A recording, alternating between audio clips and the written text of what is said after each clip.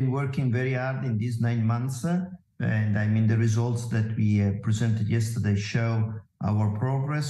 Uh, there has been a big boost during the first nine months uh, of the activity related to the energy efficiency. That you know it's is helping the country to be more efficient from a energy and gas consumption in the in the years to come, and that it will help, generally speaking, the country to be able to swift to change to switch from the Russian gas to other sources. Paolo, I've asked the question of a couple of our guests in the sector this morning as to where we're tracking in the energy crisis in Europe. We had that EU spot price that traded negative on Monday. But uh, do you think we're getting through the energy crisis at any stage, at any point just yet? Well, you know, it, to me, it will take a little bit longer to get through and to get out of that energy crisis. I mean, there are positive signals.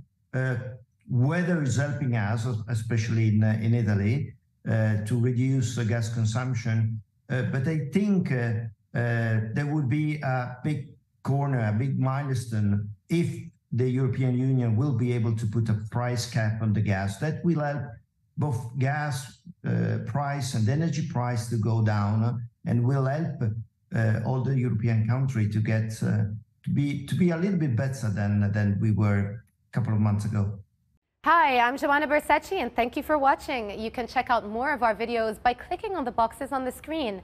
And don't forget to subscribe to our channel for more from CNBC International. Thank you for watching.